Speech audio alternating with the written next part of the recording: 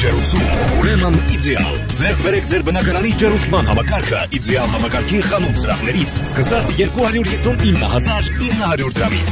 Պարոն Հովանեսյան, 1.5 տարվա ընդմիջումից հետո, այսինքն երբ Ռուսաստանում հանդիպել էին Փաշինյանն ու Ալիևը, երեք ամեն դեպքում ստացվեց Կազանում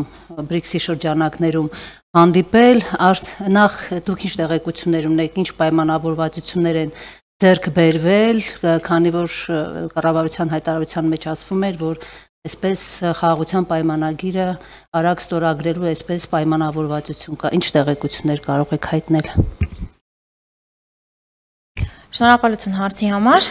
Ինչպես տեղյակ եք, այո, վարչապետը մասնակցել է BRICS-ի գագաթնաժողովին, որտեղ ունեցել է ելույթ եւ խոսել է խաղաղության խաչմերուկի մասին, ինչը շատ կարեւոր էր։ Սա կարելի է ասել, ինչպես նաեւ վարչապետը կառավարության հարցու պատասխանին ասաց, մեր կարևորագույն խնդիրներից է ներկայացնել եւ առաջ մղել մեր օրակարգը ամենատարբեր ձևաչափերում։ Նաեւ նույն ելույթում վարչապետը խոսել է սահմանազատման կանոնակարգի մասին, ինչպես նաև Հայաստան-Ադրբեջան խաղաղության գործընթացի եւ վերահաստատել մեր դիրքորոշումը այն մասին, որ խաղաղության պայմանագրի համաձայնեցված հոդվածներով արդեն իսկ կարող ենք ստորագրել պայմանագիրը։ Հայաստանը պատրաստ է։ Այո, նաև տեղի ունեցել զրույց եւ հանդիպում եւ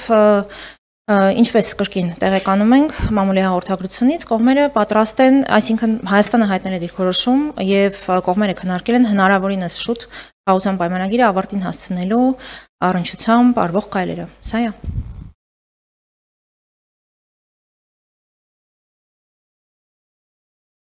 Հարգելի գործընկերներ, լրացուցիչ այլ տեղեկություն պատեհ պահին կհայտնի արդեն պաշտոնական հաղորդագրությամբ վարչապետի աշխատակազմը հանդիպումը նորատեղի ունեցել օբյեկտիվ պատճառներով այս պահին հնարավոր չի սրանից ավել տեղեկատվություն հայտնել։ Մենք միշտ բաց հրաապարակային կիսվում ենք հանդիպման արդյունքներով պաշտոնական հաղորդագրությամբ։ Շնորհակալություն։